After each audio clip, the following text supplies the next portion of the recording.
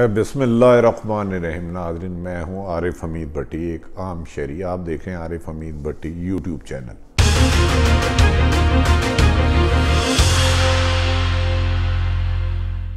ناظرین، پاکستان میں جہاں بہت اچھی خبریں ہیں کہ کرکٹ واپس آ گئی ہے، وہاں پاکستان میں کرپشن ایک ایسا ناسور بن گیا ہے جس کے بارے میں دعوے تو کیے جاتے ہیں۔ جیسے کہتے ہیں نا، ڈان کو مشکل، پکڑنا مشکل ہی نہیں، ناممکن ہے۔ پاکستان میں مافیا بھی اسی طرح اوپر کی طرف جا رہا ہے۔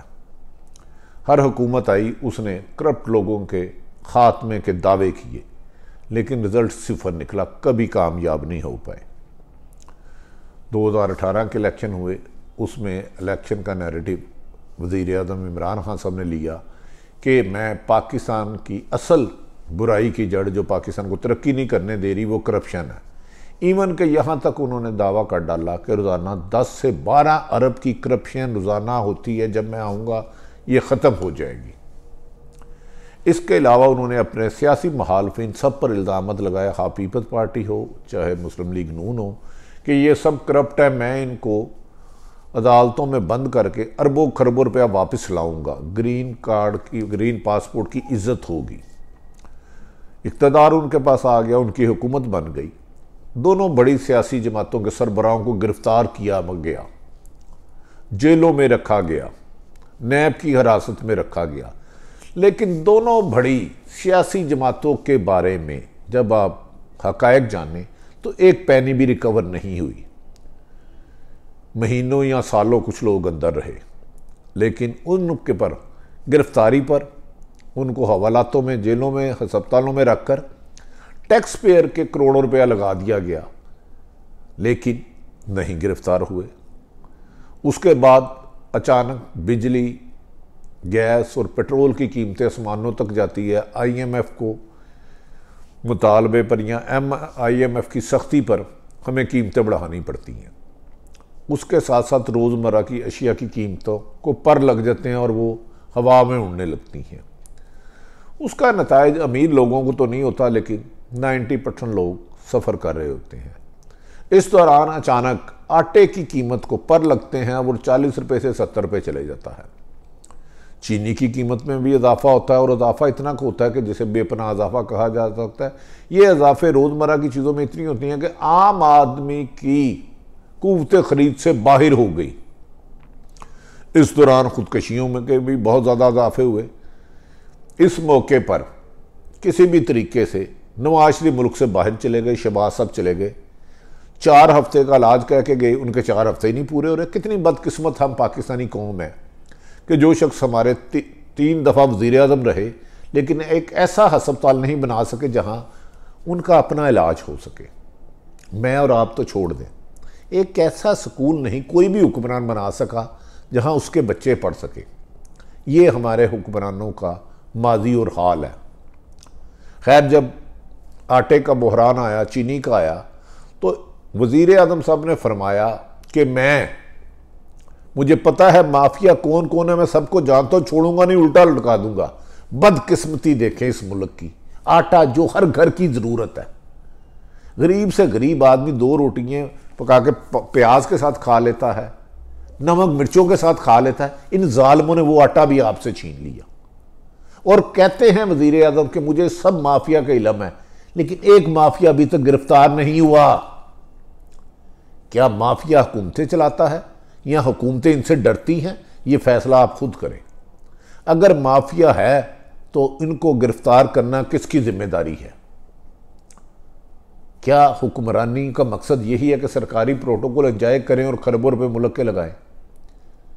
کیا آپ کے ووٹ سے منتخب ہو کر آنے والے جیسی زندگی وہ گزارے ہیں آپ کا حق نہیں ہے، میرا حق نہیں ہے، ہر پاکستانی کا حق نہیں ہے۔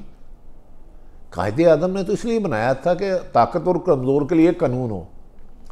وزیر اعظم صاحب، آج آپ نے ایک پھر عجیب سا دعویٰ کر ڈالا کہ روزمرہ کی اشیاء میں قیمتیں کم کی جائیں۔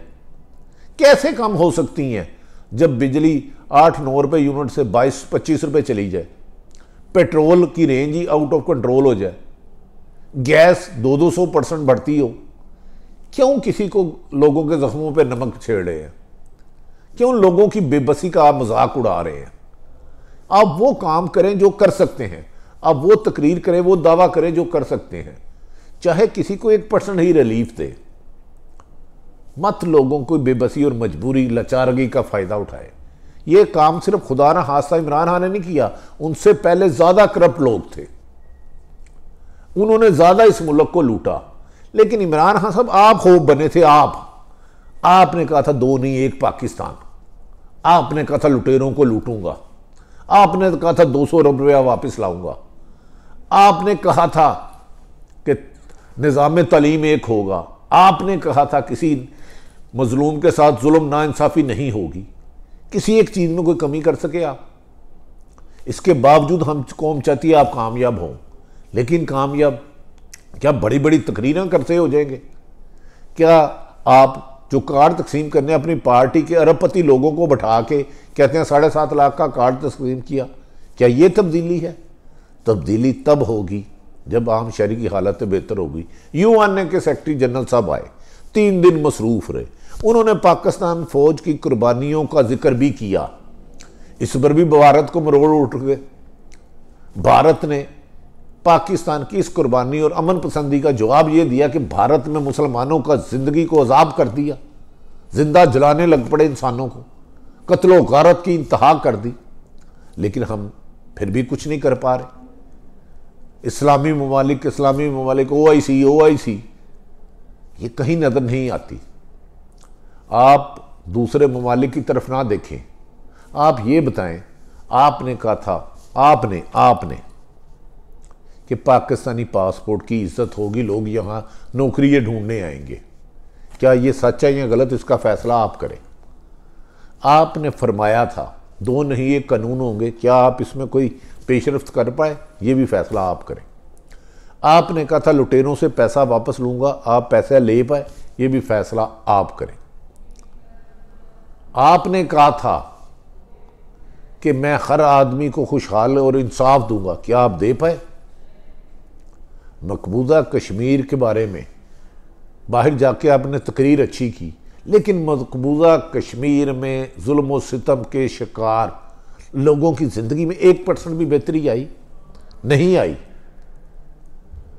جس کو آرمی نے قربانیاں دے کے لاتداد دہشت گردی خاتمہ کی، کوئٹہ میں کل پھر بلاسٹ ہو گیا۔ پھر کسی کا بچہ مر گیا، کسی کا باپ مر گیا، کسی کا بھائی مر گیا۔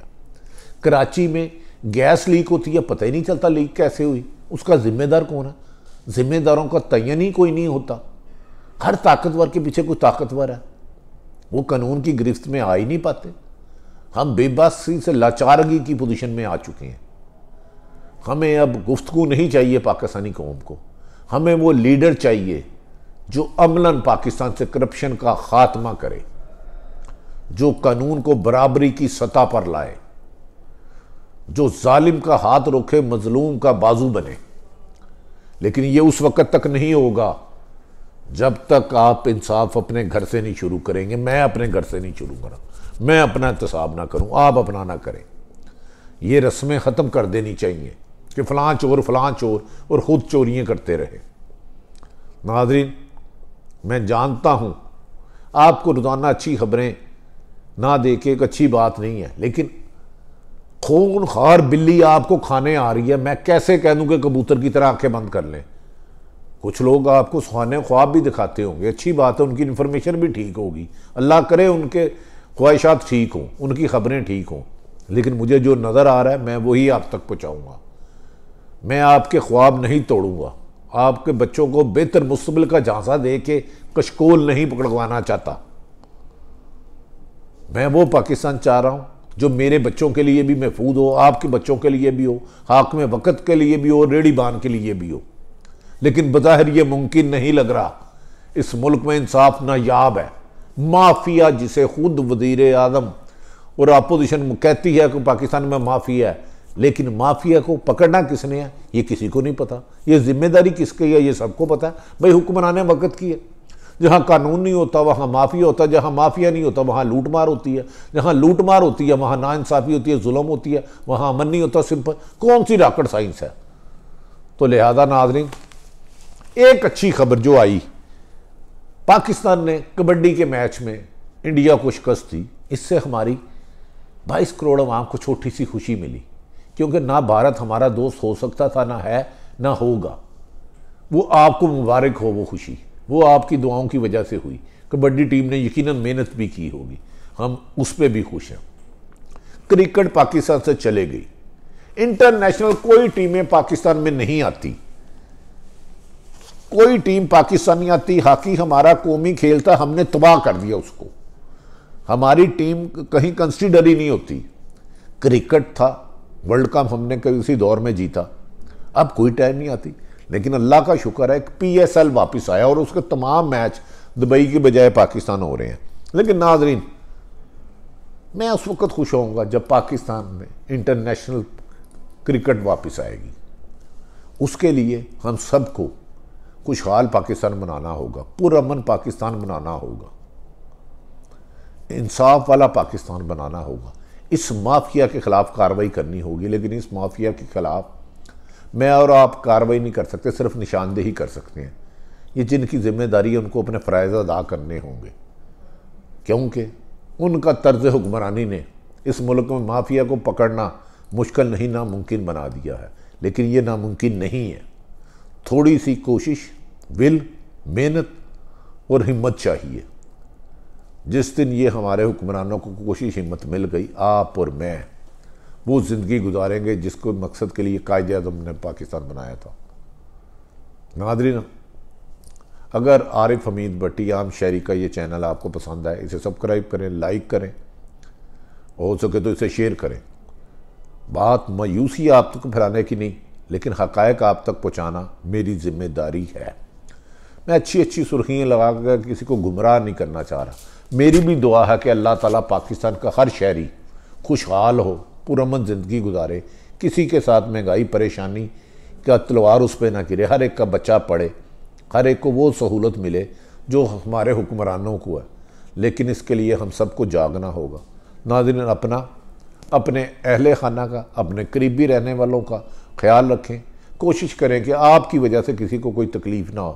ہو سکے تو لوگوں کو خوشیوں میں، ان کا ساتھ دینے میں اپنا کردار ادا کریں۔ ناظرین عارف حمید بٹی عام شریک اگر چینل پسند آئے، اسے سبسکرائب کریں، لائک کریں، ہو سکے تو شیئر کریں۔ پاکستان زندہ باد۔